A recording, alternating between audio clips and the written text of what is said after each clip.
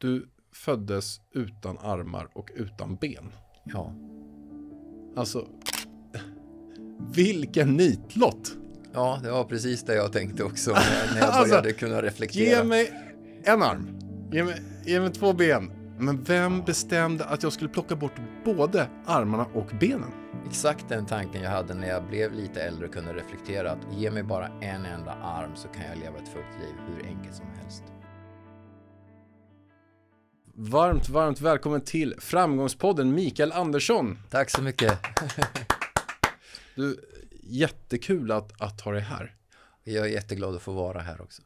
Ja, super, superspännande. Jag, jag lyssnade på din bok och då bara kände jag så här, wow, alltså vilken story och vilket så här, jag gillar ju att prata om, eh, alltså alla på den här planeten och alla människor har sin egen historia. Och Uh, du har ju verkligen din egen historia. Uh, och jag tror att den också, det är därför som du också är så en populär föreläsare, att du kan inspirera många och, och liksom, um, ja, liksom de sakerna som du har upplevt och, och allting att sprida vidare. Liksom. Ja, och det, det är det jag är så glad att få, få möta när jag är ute och talar så, så märker jag att människor eh, kan identifiera sig i det jag berättar om trots att våra liv ser väldigt olika ut. Och det är väldigt spännande att vara med om. Eh, och så här, om, om, om vi bara skulle börja från början. Du föddes utan armar och utan ben. Ja, Alltså, vilken nitlott! ja det var precis det jag tänkte också när, jag Alltså, började kunna reflektera. Ge mig en arm. Ge mig, ge mig två ben. Det, men vem bestämde att jag skulle plocka bort både armarna och benen?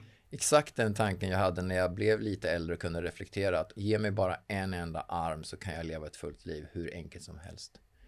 Eh, och, och det var ju naturligtvis ganska naturligt att de tankarna kom hos en ung kille.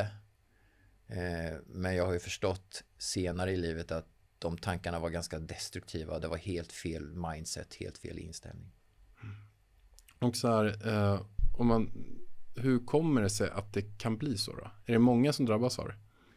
Nej, det finns ju alltid en risk att det händer saker under en graviditet. Men det vi misstänker och som jag är nästan helt säker på det var att mamma blev exponerad för hormoslyr. Det var ett växtbekämpningsmedel som spreds i jordbruk och skogsbruk under 60 och 70-talet. Och det innehåller ett av världens giftigaste ämnen som är dioxin. Okej. Och just under en, en viss kort period under graviditeten så är fostret väldigt känsligt för kemisk och yttre påverkan. Och det är tidigt under vecka fem eller tio någonstans där. Och just då anläggs eh, förutsättningar för att armar och ben ska växa ut på ett foster. Och det, det är så väldigt känsligt just då. Och just då blir mamma exponerad för det i sitt föräldrahem och vilade upp sig den ett par veckor. Och då spreds det hormoslyr. Det var min morfar som jobbade på ett skogsbolag och då, han hade ju naturligtvis ingen aning om risken med detta. Och det var ju ingen som sa någonting. Det var ingen som brydde sig om om det var farligt eller inte eh, av de som bestämde att det skulle spridas. Mm.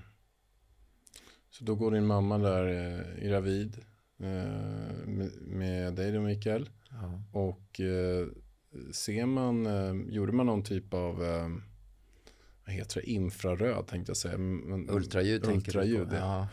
Nej, det gjordes inte. Det fanns heller inga symptom under graviditeten att någonting hade gått fel. Och jag brukar vända på det i mitt huvud i alla fall att det var väl tur det då för annars kanske jag inte hade eh, de hade låtit graviditeten fortsätta på den tiden.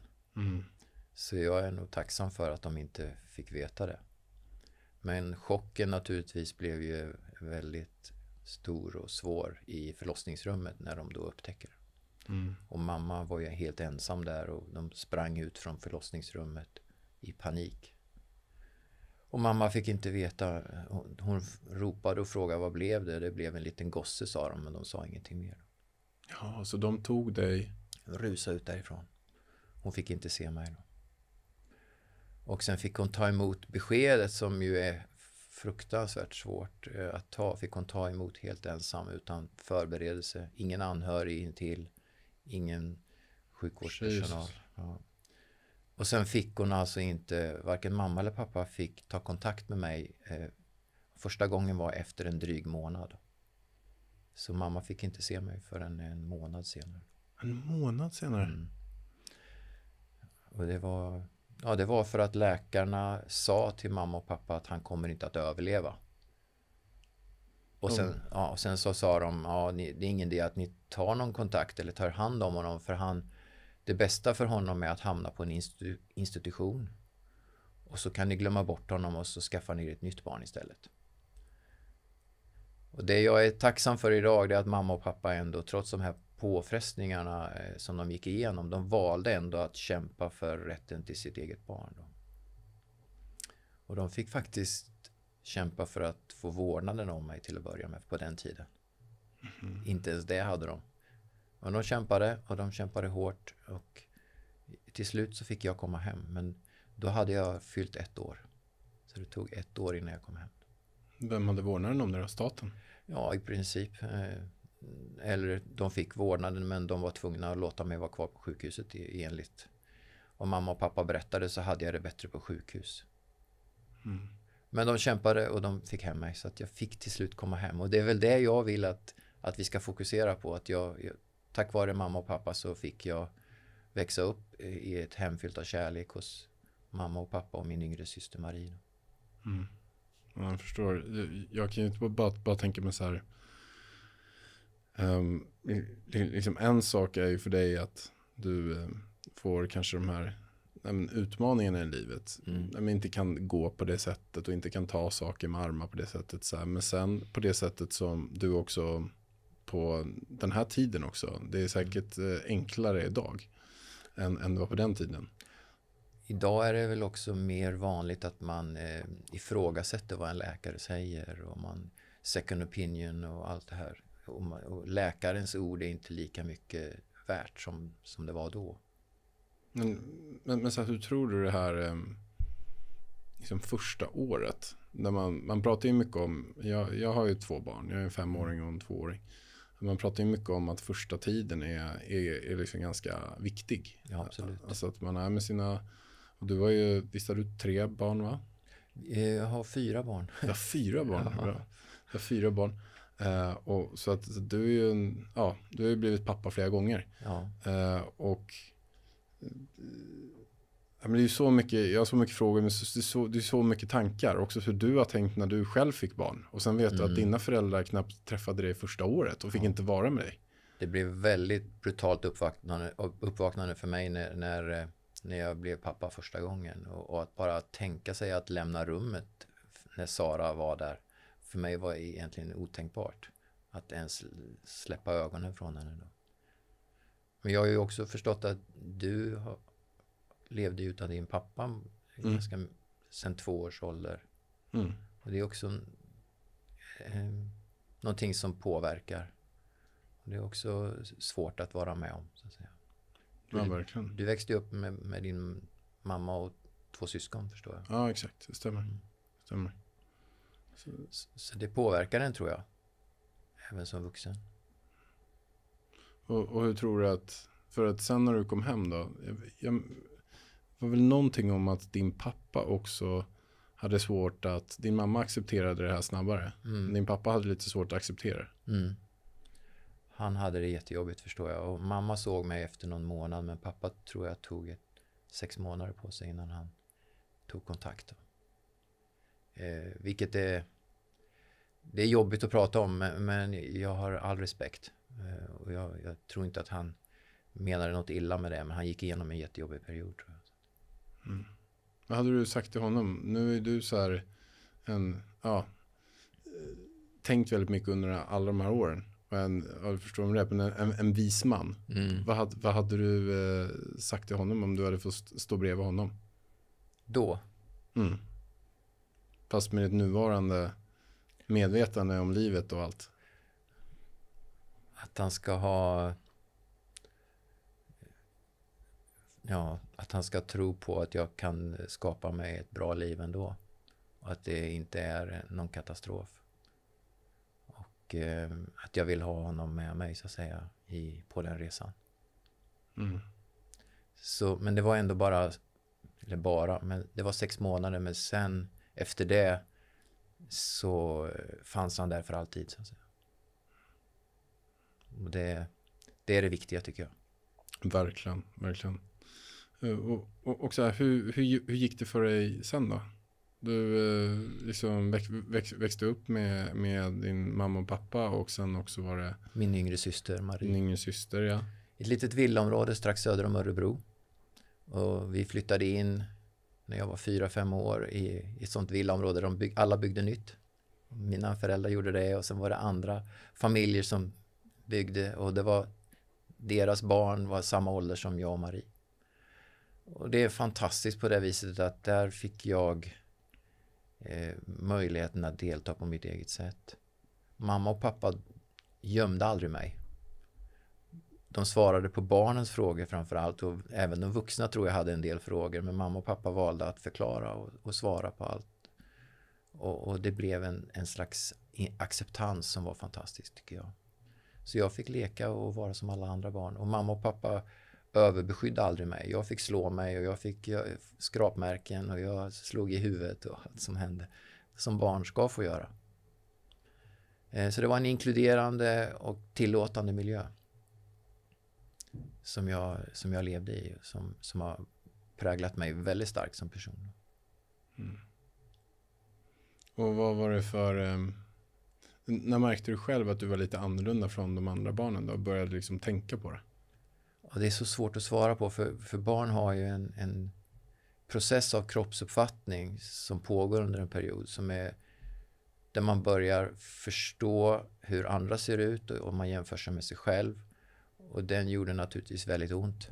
För jag förstod ju mer och mer att jag ser ju inte ut som dem. Och vad, vad beror det på? Och då kom det här tankarna som du inledde med. Om jag bara hade fått en arm så kunde jag gjort det här. Om jag kunde fått två ben och då hade jag kunnat springa lika fort som dem. Mm. Och det, tyvärr var det ju så att det var ingen som brydde sig om från vuxenvärlden om en sån process, om att här behöver vi kanske stötta ett barn i att ta sig igenom det här. Utan det enda deras fokus var, det var att hitta hjälpmedel som, jag, som gjorde att jag såg likadan ut som alla andra barn. Alltså skapa den hela kroppen, alltså ersätta det som saknas med konstgjorda armar och konstgjorda ben. Det var det enda fokus eh, sjukvården och vuxenvärlden hade då. Mm. Det, det psykiska, alltså de mentala processerna att stötta upp där hade de ingen förståelse för på den tiden. Så det fick jag hantera själv. Hur gick det då? Inte alltid så bra.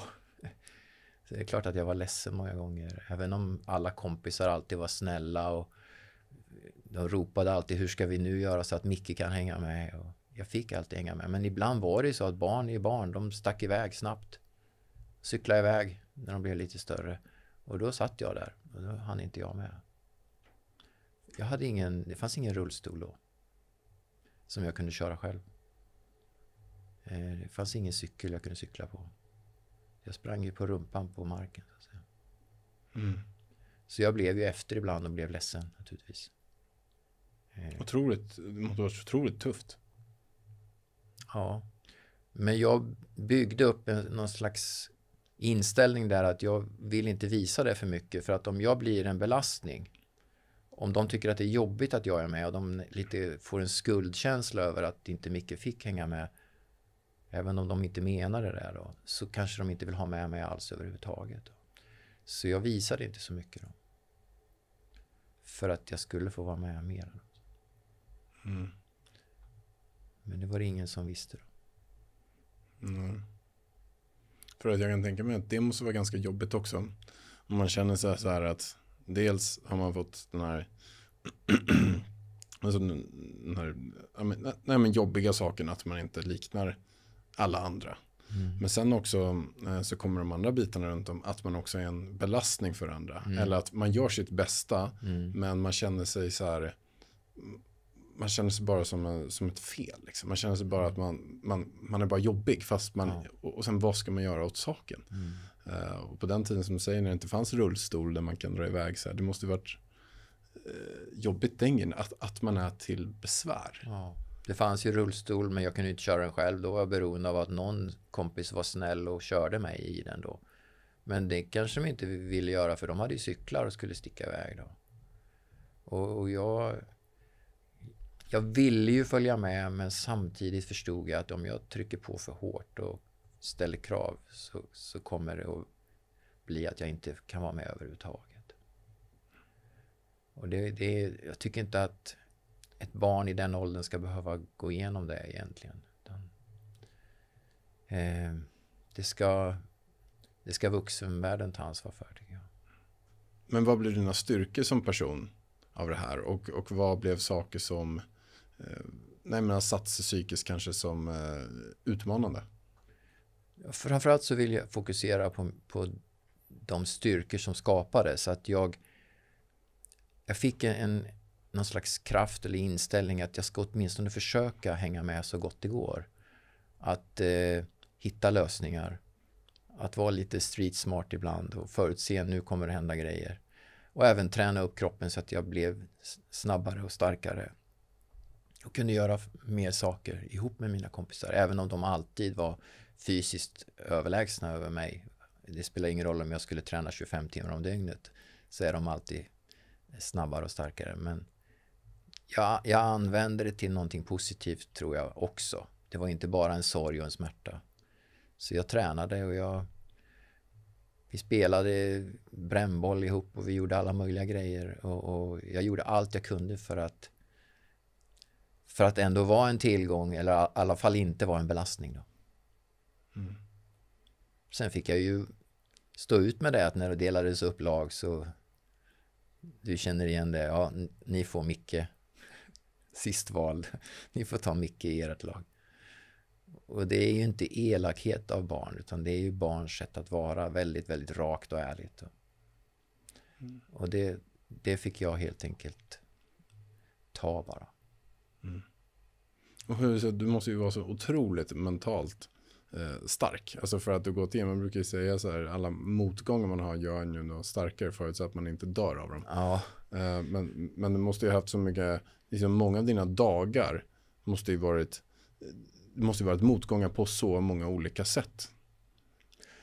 Som ja. du behöver se på ett positivt sätt och hitta lösningen på liksom. Ja, och även om jag kanske inte riktigt var medveten om det som barn så, eh, och inte kunde formulera det i ord så som jag gör idag så var det ändå någon slags instinkt av, av, för att överleva och för att leva i den här miljön som jag befann mig i. Och jag, jag är helt övertygad om att den har, den har format mig till den jag är idag. Att jag, jag vägrar vika ner mig för att någon på något sätt har andra förutsättningar. Jag menar att jag kan säkert mäta mig med de flesta genom att kompensera det som saknas med massa andra resurser och styrkor. Mm. Och jag vet också när jag läste din bok så skriver du, det är en del om det här eh, protestiden också. Ja. Eh, som, som du själv inte var så här jättesugen på, men du liksom trycktes in i det. Ja. det. Och det är ju svårt att förstå själv, men det kändes som att det var en helvetes tid. Ja, om du tänker dig att sjukvårds, sjukvården och eh, protesindustrin tog eh, makten över mitt liv, eller egentligen vår familjs liv, från ett års ålder. Då. Så lagom när jag kom hem från första sjukhuset så påbörjades då protesutveckling. Avgjutningar av både armproteser och benproteser. Och jag brukar beskriva det som att de hade helt fel fokus. De bara fokuserade på det som saknades på min kropp.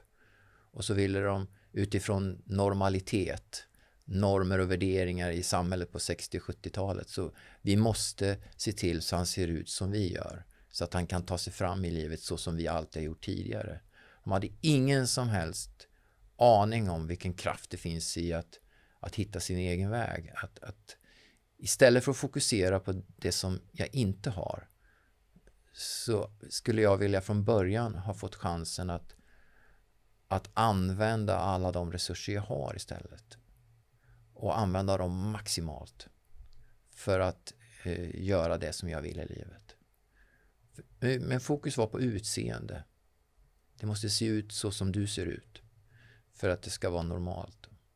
Det trodde de också var det, det bästa sättet att, att hjälpa mig. Så det var inte elaka människor. De var inte onda, men de hade, de hade fel om jag får lov att säga det. Och de borde kanske ha haft ett lite mer öppet sinne, lyssnat mer än vad de pratade och lyssnat till vad, till vad barnet sa och vad barnet uttryckte och hur barnet betedde sig. För det, hade man gjort det så hade man sett tydligt att det här var inte rätt väg att gå. Vad hände för något då? Ja, för det första så var det ju enorma inskränkningar på mitt, mitt, eh, min barndom. Alltså från ett års ålder så skickas jag då till Stockholm långa perioder helt plötsligt för att träna med proteser. Utan din, dina föräldrar också? Ja. Ja, då mamma och pappa fick inte bo på sjukhuset. De, men det var ju pappa som lämnade mig och sen fick han komma och hämta mig igen två månader senare. Då. Två månader senare? Ja, i början var det långa perioder. Det är inte två dagar liksom? Nej, utan föräldrar i två månader på ett sjuk, en sjukhusavdelning som var väldigt kall, steril miljö. Jäklar alltså. Det var, ja det svåraste var ju att försöka somna på den här kvällen i den här stora hemska svarta sovsalen då med små styck, sex stycken gallersängar, du vet, i ett stort hemskt mörkt rum. Men det var där...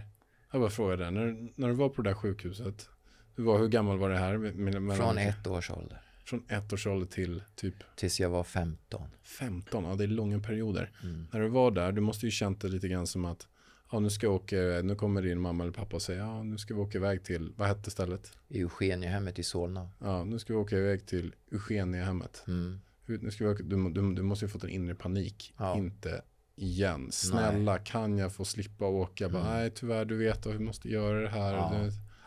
Precis, exakt så var det. Jag bara snälla så börjar du gråta ja. och så nej, nej, nej. Och, så, ja. och pappa jag vet ju när han hade ordnat allting för mig på, i mitt rum där på sovsalen på Eugeniahemmet så blev han lite darrig på rösten och då märkte jag att nu är det någonting på gång. Då sa han nu måste jag åka hem till mamma och Marie. Och så han går sakta ner för den här trappen som jag aldrig kommer glömma då, utan att vända sig om. Och, och då, då visste jag på allvar inte om han skulle komma tillbaka igen. För eh, det, det fanns inga garantier. Jag levde ihop med neurosedynbarnen de som drabbades av neurosedynskador som också blev av med armar och ben. Vad är det för någonting? Det var en sömntablett som många mammor blev förskrivna på, i början på 60-talet. Och den skadade eh, utvecklingen av armar och ben ungefär på samma sätt som hormoslyr. Mm. Och jag levde ihop med dem som i en tät syskongemenskap på den här avdelningen. Då. De hade liknande skador som jag, vi blev som syskon. Men jag visste ju också att Många av deras mamma och pappa, de hade också gått ner för samma trappa. Men de kom aldrig tillbaka. Kom aldrig tillbaka? Nej. Så att det fanns ju inga garantier. Så där levde vi. Jag vet att det här, ja, jag vet inte exakt hur, men den, hur jag mentalt överlevde, men det, det, var ju fruktansvärt på kvällarna. Man grät, man var förtvivlad. Det fanns inte ens en vuxen hela natten på, på samma våning. De hörde oss inte ens en gång. Men, men det, har ju, det har ju satt djupa spår i mig. Inte bara sorg och smärta men framförallt en kraft och den här lågan att aldrig hamna i den sängen igen. Aldrig så ensam, aldrig så utlämnad, så sårbar, så ledsen och förtvivlad som jag var där. Så Det har drivit mig idag. Den, den lågan, den slocknar aldrig förrän de gräver ner mig, tror jag. Mm. Så att eh, den har drivit mig till mycket utav eh, det jag är idag. Då. Eh, och jag kunde självklart inte säga det då eller ut, formulera det på något sätt då, men jag vet att det var där det, den väcktes. Eh, och det tog många, många, många, många år innan jag också kunde börja göra någonting åt det. Du måste ju ändå känt så, så otroligt besviken på dina föräldrar. Av alla de här timmarna du låg där så måste du ändå ha känt att du Ja, nu var det ju inte mina föräldrars fel, det förstår jag ju idag, men som barn. Som barn ja. Som ja, barn, alltså, då är det ju de som så, så kör dig dit. Ja, det var ju ständiga svek. Som är kanske svårt för utomstående att förstå, men eh, mamma och pappa svek mig om och om igen upplevde jag då. Men, men eh, jag vet ju idag att de blev tvingade till det, så att säga. Men det förstod inte jag som barn.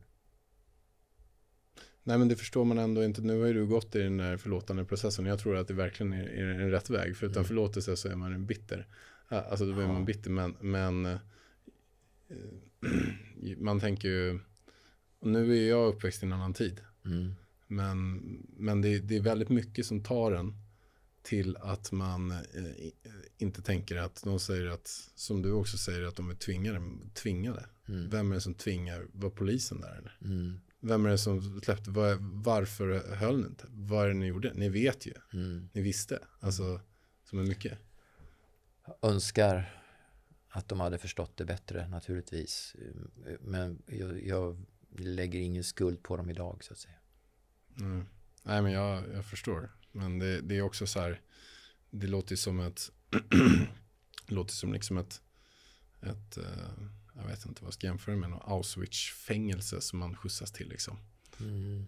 Ja. Vi levde ju ändå i en miljö som var hyfsat trygg. Vi lekte, vi hade det bra. Men det var inte, det var inte den barndom som jag egentligen hade velat haft så att säga. Mm. Förutom när jag var hemma. Det var där tryggheten och kärleken fanns. Så att säga. Mm. Men jag vill ändå säga att den bakgrunden jag fick med Eugeniahemmet, hur sorgligt och smärtsamt det än har varit, så har den faktiskt varit till nytta också på många sätt. Det har gjort mig starkare, den har gjort mig uh, unstoppable många gånger. Jag viker inte ner mig. Det är Nej, det kan jag inte tänka mig. Kan inte tänka mig. Men, uh, och, och, till uh, samma fråga igen. Nu, jag frågade förut om du skulle stått bredvid din pappa och vad hade du sagt till honom? Men om du stått bredvid dig själv, tio år gammal, nu ska jag skjutsas några månader till mm. hemmet. Vad hade du sagt till dig själv nu? Att eh, på något sätt få mamma och pappa förstå vad vi gick igenom där. De visste inte det. De blev inte ens informerade om vad, vad sjukvården gjorde med oss där. Det var ju inte bara protesträning. Till, till slut så var det ju tyvärr kom det pengar in i det här och vi blir försöksobjekt i protesutvecklingens tjänst. Alltså, det gick över gränsen för vad som var, var okej. Okay. För när jag var sju år så gjorde de en undersökning på mig och på några stycken till i samma situation, hur långt vi hade kommit med träningen. Och den rapporten beskrev att de här fyra pojkarna med de här skadorna har inga rimliga förutsättningar att någonsin kunna klara av att gå med proteser. Då var jag sju år. Och sen tvingade de mig att fortsätta i sju år till. Varför det? Ja, om du ställer den frågan så, så svarar jag alltid follow the money. Mm. De tjänade mer pengar på det. Mm. För att de, då var det alltså läkemedelsindustrin? Protes, protes. Protesindustrin. Det var gubbar i slips och kostym som såg att här kan vi tjäna pengar och vi måste ha någon att pröva på. Så att de kan utveckla saker som sen ska säljas ja. runt andra sjukhus och, och andra. Liksom, ja, inte bara i Sverige utan globalt. Globalt ja, och då mm. behöver man alltid studier ja. eh, som visas. Så då antar jag mm. att du fick testa massa olika proteser. Jag fick prova, inte många olika, men de prövar, fortsatte att testa trots att det inte fungerade nästa gång, nu, nu har vi kommit på en ny grej, nu kan vi göra det på nästa och när du blir lite större så får du nya proteser och då har vi testat det här. Och nu kom det knäled, att man skulle ha knäled också, det blev ännu svårare. Ehm, och jag menar att när de kom fram efter sju år till att det här var helt omöjligt för de här killarna, som både saknade ben och armar. Det var orealistiskt att vi någonsin skulle kunna använda benproteser på ett normalt sätt i, i vardagen i, som vuxna. Då var jag sju år och ändå fortsätter de i sju år till. Det är helt otroligt. Då har du inte alltför för stor, stort förtroende för läkemedelsindustrin? Nej. Jag litar inte ett skit på dem. Nej. Nej. Jag fattar. Jag fattar. Men mycket är ju styrt. Alltså jag har också så här. Jag har ju haft lite program om sånt förut också. Men det är ju det är svårt när man också slänger på, man ska hjälpa människor men mm. trots allt så är man till för alla aktieägarna. Ja. Och det är ändå det som är huvudsaken. Mm. Och sen är själva businessen vad man gör eller vad man kommer på är en sak. Men de som kommer på antidepressiva medel och mm. har någon typ av patent på det. Mm. Nej, de vill väl att ursäkta, hela jävla jorden ska käka de här antidepressiva Mm. medlen. Liksom. De vill ju inte att det ska bli så lite som möjligt för att det visar att, att, att eh, mänskligheten går åt rätt håll. Samma sak med smärtstillande, samma sak med olika typer av vacciner, samma sak med allt möjligt. Ja, jag tror vi människor behöver bli bättre på att ifrågasätta och inte tro blint på vad, vad myndigheter och politiker och läkemedelsindustrin säger. Så att man, man måste åtminstone försöka ifrågasätta för att få fram sanningen. Men jag hävdar fortfarande att jag blev starkare utav det här ändå. Även om det, de tog min barndom ifrån mig. Och, och berätta då, vad, hur, eh, vilka områden har du blivit väldigt stark i? Jag, eh, jag insåg att om jag tränar Eh, min kropp så kommer jag kunna göra ännu mer saker utan proteser. Jag, jag gjorde ju allting mycket, mycket snabbare, lättare utan proteser. Så jag började träna eh, och idrotta och insåg ju att det funkar ju. Eh, jag kan använda hakan och axeln, jag kan använda munnen. Det du nämnde tidigare med magen, jag kan göra mycket med en stark rygg, en stark ma- mage. Eh, Ja, jag kan kompensera det som saknas genom att använda andra resurser. Så det kommer jag fram till. Sen var det ju kampen då eh, att få ett annat förflyttningshjälpmedel då i och med att det fanns elektriska rullstolar eller det de kallade för permobiler då. Men eh, det fick inte barn under 12 år använda. Ja, På grund av att någon hade sagt att barn under 12 år är inte trafikmogna. Och jag tänkte det efteråt, jag ska ju inte ut på E6 och köra. Nej, nej, inte Det- riktigt, va? Det är en liten lugn villagata eller inne i ett hus någonstans. Men det fanns alltså inte elektriska rullstolar för oss. Det var det jag drömde om. Det var roligt, min, eh, när jag var hemma, eh, eller så här, min eh, femåring, eh, vi var hemma hos en kompis i helgen som hette Bell och hon är också fem. Hon har alltså en eh, sån här bil man, kan, man kan köra. Ja. som är så här en bil man kan sitta tre barn i. Ja. Och hon kör runt i den själv. Ja. Och den går, jag skulle säga att den går snabbare än vad en rullstol, eller en sån här permobil går i. Ja. Eh, Och, och den kan hon köra själv, alltså som femåring. Utan några som helst problem. Ja, ja. Man ska inte underskatta barn. Det, men det var vad de gjorde och eh, de skulle hellre satsa då på proteserna för det var deras, deras väg. Och någon elektrisk rullstol var inte aktuellt för det var farligt. Och jag menar ju, de kunde inte hävda att var, de var för tunga eller för stora. Då kunde de bygga om dem och göra mindre då. Som var mindre farliga då, inom citationstecken. För ett barn som inte kan förflytta sig och inte hänga med, det, det är förödande för sociala kontakter och jag kunde inte följa med. Så att det var väl min önskan att de hade fattat det mycket tidigare och satsat på rullstolar, elektriska då. Jag, jag fick inte min första rullstol förrän jag var 14 år. Du, du, eh, du gav ju aldrig upp. Men eh, vid några tillfällen har det varit nära att ge upp. I alla fall tänkt tanken. Ja, ja. Ehm, det har ju funnits sådana stunder. Gymnasietiden var ju absolut den värsta i mitt liv. När man börjar bli vuxen och ja, eh, kroppsideal och allt det här. Hur man borde se ut och träffa tjejer och allt det där. Det var ju jättetufft för mig. Jag hade ju inte en chans. Och eh, ja, jag trodde någonstans där någon gång att bara för att jag ska bli man och bli accepterad så måste jag vara lång, lång mörk och muskulös. trodde jag att det var idealet. Långt ifrån verkligheten fattar jag idag men eh, det var hur en ung killes tankar gick när man gick i gymnasiet. För, för mig så, så fanns det inte en, någon tanke att, att en tjej någonsin skulle kunna eh, tycka om mig. Jag kommer aldrig kunna skaffa familj eller någonting sånt. Det, det var vad jag var inne i då. då. Så att det, det fanns ju väldigt mörka tankar där ett tag. Då. Och nu har du fyra barn. Jag har fyra barn. Så häftigt ju. Tänk vad fel jag hade. Tänk, tänk om du hade fått eh, liksom spola fram det. Om någon hade sagt till dig bara du, du kommer ha fyra barn en gång i framtiden. Du kommer ha en fru. Du kommer älska dig. det är så himla viktig sak som du säger där, att det kanske var det som saknades under långa perioder i mitt liv. Någon som hade lite helikopterperspektiv och som kunde vara en liten coach eller stötta mig lite grann och säga att det här kommer du att lösa. Och det, det fanns inte, det var så mycket fokus på så fel saker. Det satsades enormt mycket pengar på, som vi har pratat om, proteser, men det fanns ingen annan slags hjälp att få. Mer mentalt. Och det, det är jag lite ledsen över. Mm. För jag hade behövt ha dig där som hade sagt till mig. Eller har dig själv. Jag hade mig själv. Men, eh, ja, du hade dig själv. Men, ja, ja, jag hade behövt någon annan också. Jag fattar. Man, man, eh, det blir ju inte, men, men det är ju, jag tror också att det är så himla svårt. Jag tror att det är så himla,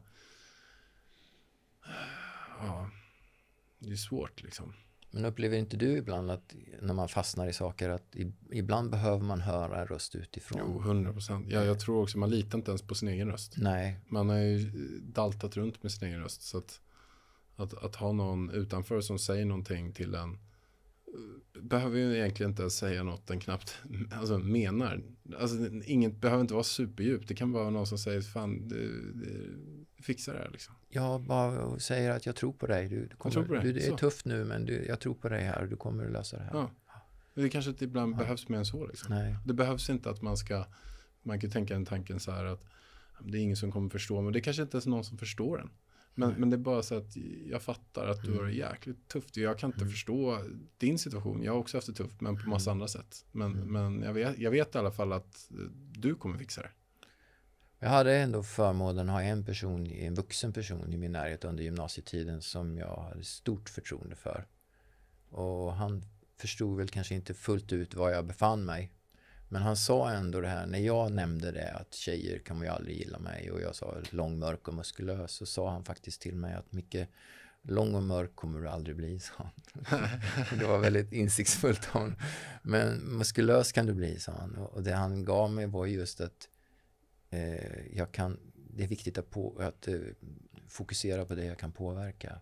Att inte lägga, slösa bort mitt liv på att försöka bli lång och mörk. Det är inte ens viktigt.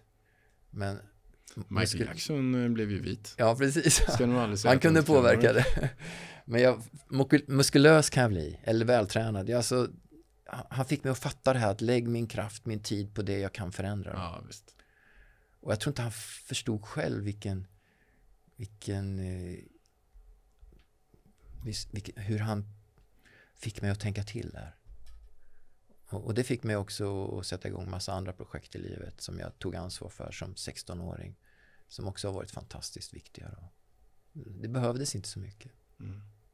Vad skulle du säga till alla nu då som eh, är i den åldern och, och uh, har mycket tankar kring uh, sin egen kropp och man tycker man är otillräcklig. Ja, det vore väldigt fel av mig att, att ge råd för jag känner inte de människorna, jag vet ingenting om, om bakgrunden. Jag kan, jag kan bara beskriva att jag, jag själv jag valde ju mellan två alternativ eh, och det ena var att, att inte vilja vara med längre eller att, att fortsätta leva även om det var tufft så att säga. Och ni vet ju vad jag valde så att säga. Men det finns alltid hos mig i alla fall, någon slags låga som har drivit mig vidare. Det är jag väldigt tacksam för. Jag hoppas att det finns det hos de människorna som har det tufft också. För eh, det, det, är ändå så viktigt att försöka välja livet ändå. Hur nära var det att välja den andra vägen? Det fanns eh, kanske inte så att jag led av någon psykisk ohälsa på det sättet som man pratar om idag, men det fanns tankar om det. Bland annat så tänkte jag att jag skaffar körkort i alla fall så jag har möjligheten att köra in i en bergväg i alla fall. Mm. Men, men sen ledde det ju till att lyckan och glädjen över körkort och bil blev den ljusa sidan i livet. Så då, då glöm, inte glömde, men jag, jag valde att följa den vägen. Du väjade för bergvägen ja, när den kom. Mm. Så det blev aldrig så, men de tankarna fanns där. Mm. Och vet, körkortet var ju också så här att du fick verkligen sälja in dig själv för mm. att ens lyckas få ta körkort? Ja, bara få ett körkortstillstånd så krävdes en, hel vetenskap tydligen. Psykologer och terapeuter och läkare och allt möjligt. Men jag bestämde mig för att de ska inte få stoppa mig. Utan jag, jag vet ju exakt hur jag, att jag kan köra bil. För jag har redan tänkt ut hur jag skulle göra. Då. Och använda de resurser jag har. Att sätta ratten nära kroppen. Pedalerna nära mitt högra ben. Är, och där kom träningen fram. Tänk all träning jag har lagt ner, all idrott. Eh, utan den hade jag inte kunnat köra bil. För då hade jag inte orkat styra och inte orkat bromsa. Men hur faktiskt gör du för att köra bil? Man flyttar helt enkelt ratten fram till bröstkorgen så att jag styr med armarna. Ja. Ratten sitter extremt nära bröstkorgen. Då. Ja. Och sen en lite mindre ratt. Och så flyttar man upp pedalstället upp till stolstynan. Jag sitter i en vanlig förarstol. Då. Och mitt högra ben är starkast så där har jag gas och broms. Så jag kör som du kör en automatväxlad bil. Ah, Fast jag ratten sitter närmare, pedalerna sitter fattar, närmare. fattar, fattar. Och sen flyttar man alla elfunktioner nära axlarna så jag sköter det med armarna. Ja. ja, visst har man kunnat flyga till månen så är det det inte Ja, behövs flyttas lite. nej, det här är ju hur enkelt som helst. Ja. Och många frågar mig, är det inte svårt att köra bil? Eh, Jag, fatt, jag fattar inte riktigt frågan, för det väl lika svårt eller lika lätt för mig som det är för dig. Bara jag får funktionerna nära mig så, Ja, så är det samma utmaning som det är för dig. Det är klart att det, det hade varit svårt för mig om någon hade placerat ratten tre meter bort. Och det är svårt för dig och det blir samma Ja. sak här. Det Ja. är svårt för dig om man hade, om man hade placerat ratten i, i vanliga. ja dina pedaler sitter framme vid grillen så ja, du kan du inte köra. Det är bara så. Nej, nej, nej exakt. exakt. Så att eh, det var ju en stor seger att ta körkort. Det måste varit en så stor, för jag minns ju när jag tog körkort. Och det, det kändes som att jag var fri, verkligen. Det, Mm. Jag bara skrek ju när jag åkte runt med min Mm. första Saab 9000 där jag hade köpt för liksom 9-10 tusen kronor eller vad det nu än var. Och jag bara Mm. kände mig så här, nu kan jag förflytta mig överallt. Det måste ju varit en, en liknande känsla för dig. Ja, den var helt magisk. Om du, om du tänker dig där jag kom ifrån. En stor tung permobil, orange fåtölj, jätteklumpig och med en stor lapp tillhör landstinget. Som gick i 6 kilometer i timmen. Ja. Till en, en bil som ändå gick över, strax över 100 i alla fall. Och jag kunde få med rullstolen själv också. För mig var det ju, det var ju ett himmelrike. Att, en frihet som är svår att beskriva. Att kunna sticka iväg själv. Vad gjorde du då? Vad, vad drog du med, med bilen? Hade du en föräldrars bil eller? Nej, jag, jag fick ju vänta efter att jag tagit körkort fick jag vänta nästan ett år innan min egen bil var anpassad. Så det var ju också panik. Men sen, när den var klar då. Vad åkte du då? Jag åkte överallt. Jag bara körde. du vet. Och just friheten att kunna få med rullstolen, sticka iväg och bara ingen behövde hjälpa mig. Blev du stoppad av polis någonting? Jajamän. Det har jag blivit många gånger. Och de blir ju lite förvånade när det är mig de stoppar. Alltså. Vad säger de då? Ja, vid något tillfälle var det en polis som blev lite så här skuldmedveten. Nu ställer jag till det för dig. Eh, om jag bötar dig nu. Och, och då var jag nära att hålla med. För att det hade varit skönt att slippa. Men samtidigt så har jag ju kämpat för att få tillgänglighet och, och samma lika rättigheter som alla andra. Även om jag lever med en funktionsnedsättning. Men då är jag också medveten om, då måste jag också ta de skyldigheter som finns. Och, och annars är det inte på riktigt. Jag kan inte glida undan då. Så jag sa till honom, jag har kört för fort och du har tagit mig, vilket jag inte gillar, men jag ska betala böterna, sa jag till. Och då höjde han ögonbrynen, ja, då får du göra det, så. Mm. Men jag är ändå stolt att jag var ung och jag sa ändå det. För jag, jag, jag har både rättigheter och skyldigheter i det här samhället. Mm. Mm. Och hur träffade du, vad heter hon? Vad heter din fru nu igen? Min fru heter Kristina. Kristina ja. Mm. Hur träffades ni? Jag var med i landslaget i det som kallas för handikapporientering. Eh, och vi, jag bodde i Örebro då och så skulle vi vara med på en landskamp mot Norge och det var i Göteborg. Och då var Kristina funktionär från den arrangerande föreningen. Då. Och det, det var där vi träffades. Och eh, ja, det hände något där och sen så vet jag också att hon vi hade lite kontakt och så meddelade hon att hon skulle vara med på någon sån här banläggarkurs uppe i, i halva Norrland där uppe någonstans. Och jag var inte ett dugg intresserad av banläggning men jag anmälde mig till den kursen jag också. Banläggning? Banläggning, att lägga banor för handikapporientering då. Ja, okej, Uppe okej. i Hälsingland någonstans. Ja. Så jag anmälde mig, inte för att jag var intresserad av banläggning men jag visste att Kristina var där. Och sen, ja, så blev vi tillsammans och sen Det här var 1988 Och då, när vi blev tillsammans sen så insåg jag att ett distansförhållande kommer kanske inte hålla så länge. Jag var ändå sugen på att flytta ifrån Örebro.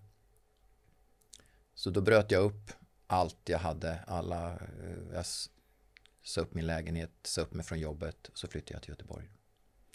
Och det var eh, bland det svåraste jag gjort i och med att på den tiden så fanns det inte personlig assistans.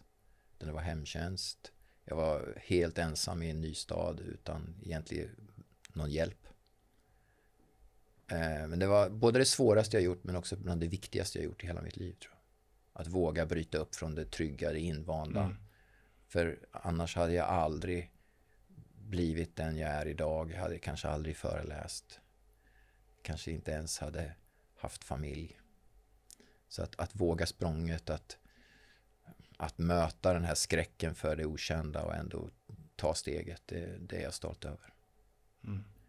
Idag brukar jag prata om walk the talk, att pratar jag om det i min föreläsning så ska jag också leva det. Då. Det är viktigt för mig. Mm. Vilken... Um, alltså vad har varit de så här, största utmaningarna då? Med, I uh, relationen? Ja, det, det var nog tufft för oss båda, men kanske tuffast för Kristina, för hon valde ju någonting som ingen hade förväntat sig. Och det var inte alls alla som tyckte att det var rätt val. Eh, så hon fick en del motstånd. Eh, jag ska nämna att mina svärföräldrar har alltid tagit emot mig från början på ett fantastiskt sätt. Så att det var inte där. Men det fanns andra i vår omgivning som var eh, väldigt ifrågasättande, vilket de, jag tycker att de inte hade rätt till. Men eh, Kristina eh, tog de svåraste smällarna och hon var starkast där. Och när vi sen fick vårt första barn så när Sara kom 94. Då förstod människor att det här var på riktigt. Och de förstod också att Kristina eh, är inte en... Eh, hon, hon, behöver inte ta hand om både ett barn och Mikael. Jag klarar väl väldigt mycket själv. Och jag var en självständig person. Jag kunde också ta hand om vårt barn delvis. Då. Inte allt som kanske andra papper gör, men jag gjorde ändå väldigt mycket ändå. Du kanske också gjorde mer än andra papper gör?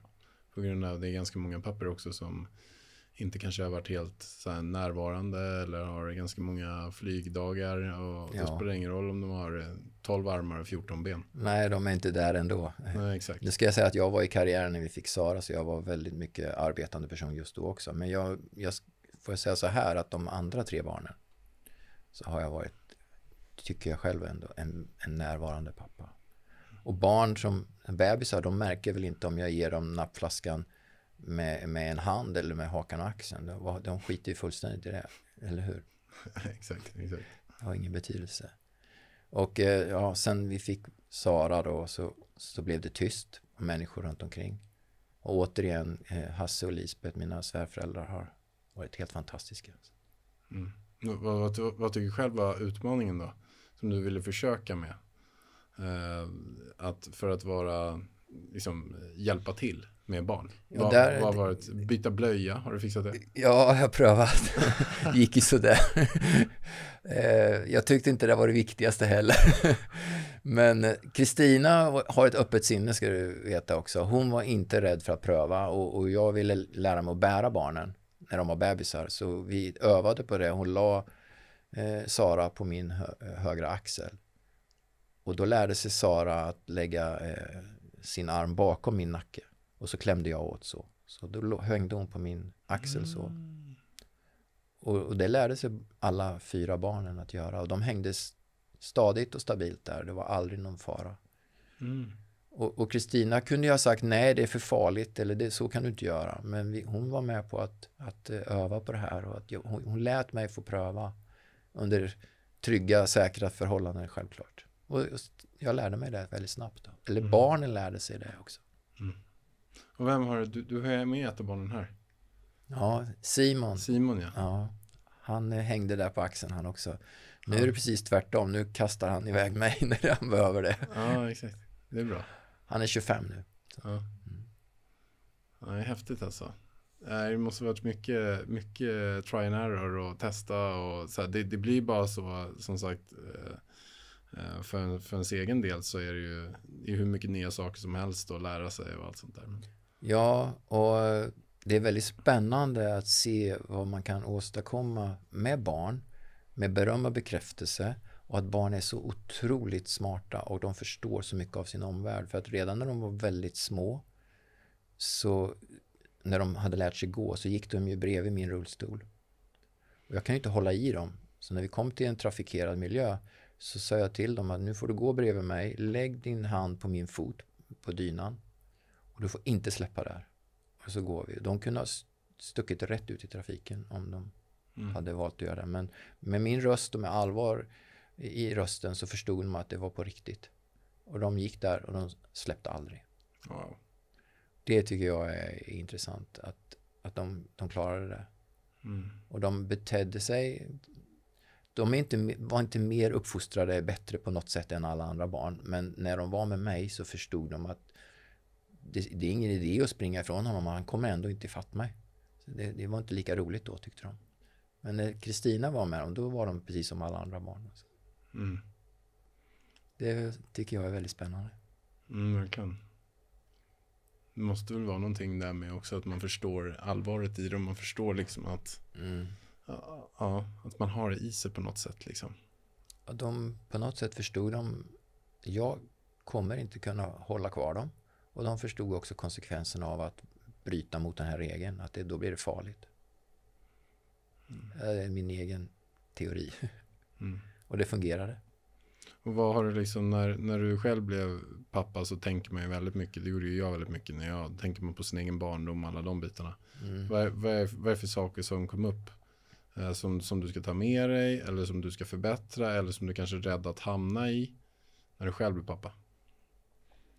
Ja, framförallt så kommer de här tankarna om att aldrig lämna dem någonsin. Eh, det får hända vad som helst men jag kommer aldrig vika från deras sida så att säga. Eh, det får vara tufft i livet men jag kommer aldrig aldrig överge dem. Någonsin. Eh, sen var jag inte så jättebra i början. Jag var inte så närvarande i första när Sara var där. Jag var mitt uppe i karriären. Vilket jag ångrar idag. Men jag tycker ändå att jag bättrade mig.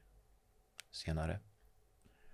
Och jag har varit, tycker jag, på det, bra på det sättet. Ja, det jag inte kunde göra praktiskt. Kanske Kristina gjorde lite mer. Men den mentala sidan har jag varit väldigt noggrann med att till exempel med idrottsaktiviteter och sådana saker att aldrig någonsin sätta press, aldrig tvinga någon barn till någonting eller att du måste vinna jämt eller du måste spela fotboll. Utan, och inte skrika vid sidan av planen eller hålla på så. Utan att de, får, de ska ha roligt och de ska idrotta om de vill. Och det är jag ändå lite stolt över att jag kunde hålla den linjen. Hur hanterar du din stress? Alla människor är ju stressade och, och allt sånt där. Men jag kan tänka mig att det finns ju eh, möjlighet att du skulle kunna eh, liksom, eh, ha en del frustration och stress av samhället eller av grejer och sådär. Hur, om du märker själv att du... Ja, det, det är ju det handlar ju om mindset, alltså vad är det jag fokuserar på? Om jag går omkring och är lite irriterad på att vid entrén här ute så var det en ganska hög, en liten kant som gjorde att jag inte kunde komma in själv. Och det skulle jag kunna bli irriterad på, men jag, jag blir inte det idag för att jag vet att jag kan få hjälp upp. Och varför ska jag stressa mig över det? Varför ska jag... Jag tycker det är jätteviktigt med tillgänglighet, men jag låter banne mig inte vissa brister förstöra min dag. För vi har en begränsad tid här. Varför inte njuta av det så mycket det går. Samtidigt kämpa för att alla ska ha ett bra liv och ett tillgängligt samhälle. Men jag tänker inte bli arg och förbannad och stressad över det varje dag. Mm. Vem tackar mig för det? Mm. Så stress är ju, det är någonting man, och det råkar jag ut för ändå. Eh, när jag är ute och reser mycket och jag har jobbat i 20 år som föreläsare och rest mycket själv. Så för att undvika stress och problem så är jag väldigt planerande. Noggrann i att förbereda mig, veta vart jag ska, hur ser det ut där, är det tillgängligt, vad kan hända där och vad gör jag om det inte funkar där. Så jag undviker den här stressen och de här problemen genom att vara väldigt, väldigt noggrann och planerande. Och min fru tycker att det är jätteirriterande när jag hela tiden ska veta saker och ting. Mm. Men eh, jag är sån och det går inte att ta bort. Mm.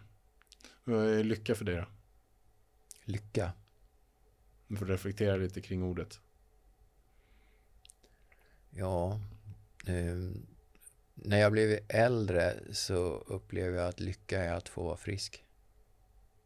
Eh, för det enda man vill och som man önskar om man blir sjuk, det är det att få bli frisk. Eh, så att jag, lycka för mig nu, det är att vakna och veta att jag lever ett, ett bra liv. Jag är en självständig person. Jag, jag kan ta mig ur sängen själv. Jag klarar de mest intima situationerna, toalettbesök och andra saker. Jag klarar det själv idag. Eh, det hade jag aldrig gjort med proteser. Eh, utan det har jag skapat utifrån mina resurser. Både mentala och fysiska resurser. Och att, att få vakna också och veta att jag är frisk. Det, för mig är det lycka. Mm. Och om du skulle ge några liksom, tips på eh, om, om, om det sitter några här och verkligen vill, vill försöka lyckas med det de vill satsa på. Vad hade du eh, sagt till dem? Ja, eh, jag är inte så mycket för att ge råd och tips, men jag kan säga att jag har tänkt mycket på att ha en, en uthållighet. Att inte ha förväntan om att nå, om vi nu pratar framgång eller lycka eller vad det nu är, att inte ha förväntan att nå det på en vecka eller en månad eller ens ett år. Utan den här uthålligheten, tålamodet, att jag ska nå det här målet och det får ta den tid det tar. Och jag är beredd på att det kommer, kommer bli misslyckanden, det kommer vara hinder på vägen. Men att så länge jag har ett tydligt fokus på vart jag ska och hur jag ska ta mig dit så kommer jag aldrig vika ner mig. Så uthållighet tror jag på. Motgångar då? Ja, de kommer ju. Och ibland upplever jag, ska inte jag prata så mycket om andra människor, men ibland upplever jag att många människor blir så fruktansvärt eh, förvånade när det kommer en motgång. Ju, ibland kan det vara bra kanske att vara förberedd på, inte att man ska förvänta sig en motgång, men att vara förberedd på att det, kom, det kan eventuellt komma lite hinder ibland. Mm. Det händer människor ibland saker och ting som man inte har, kan påverka. Och ha en lite större eh, beredskap för det mentalt. Och kanske tänka hur, hur ska jag möta en motgång? Hur ska jag tänka då? Det är lätt att säga men man kan ändå jobba med sig själv lite grann mentalt. Mm. Eh, gör du några saker så här, typ eh, liksom, tacksamhetsövningar eller någon annan typ av mindset eh, saker? Har, har du testat någonting sånt eller rekommenderar någon? Nej, inte sådär direkt. Jag, jag, jag gör mina egna lite grann grejer och, och funderar lite grann kring livet. Mycket när jag kör bil och mycket, en del när jag tränar och så. Som, som hjälper mig att, att fokusera på rätt saker. Mm. Och jag, jag, märker själv när jag, och det gör jag ibland, när jag reagerar på fel sätt och när jag blir stressad och, och beter mig på ett sätt som jag absolut inte egentligen vill. Men ibland händer ju det oss alla tror jag. Och, och, men det jag försöker det är att uppmärksamma mig själv på det. Att nu, nu gjorde du det här och det här var ju inte så jädra smart. Nu får du stanna upp, tänka om och, och nystart och så gör du på det här sättet istället. Men fel gör jag hela tiden. Liksom, bara för att man har bestämt sig för att jobba med sitt mindset betyder det inte att man aldrig gör fel. Ja, så är det absolut. Om man skulle boka dig som föreläsare, vad eh, pratar man om och hur, eh, hur gör man? Hur man gör? Ja, var går man in någonstans? Eller? Man, man kan eh, hitta mig på nätet, både på min hemsida som är mikael-unlimited.se och så finns det även eh, några förmedlingsbyråer som jobbar med mig. Bland annat Athenas. Mm. Där hittar man mig. Och har du någon mail om man kom, kommer i kontakt med dig? Ja, jag har en info at mikael unlimited.se Ja, jag lägger in den här i poddbeskrivningen också. Mm. Har du några planer framöver? Eh, absolut, eh, det finns mycket. Jag, jag eh, jobbar ju efter, eller under pandemin här så tog jag en anställning som kundinformatör på Frösunda personlig assistans. Så där har jag planer på att fortsätta mm. samtidigt som jag utvecklar mina föreläsningar ytterligare. Mm. Och sen drömmer jag om att eh, någon gång i livet få köra motorcykel. Men det, kommer, det har inte blivit verklighet än, men det, det kommer hoppas jag. Mm. Det drömmer jag om, det, för det är frihet för mig. Ja, men det är häftigt. Det är jag aldrig vågar göra, för jag är rädd att jag ska dö. Ja, men jag känner att jag kan inte bryta benen så att det är lugnt.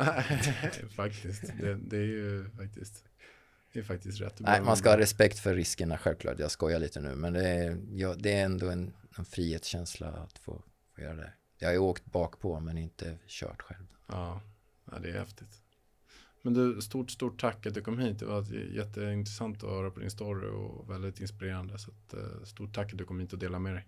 Tack själv, jättekul att vara här.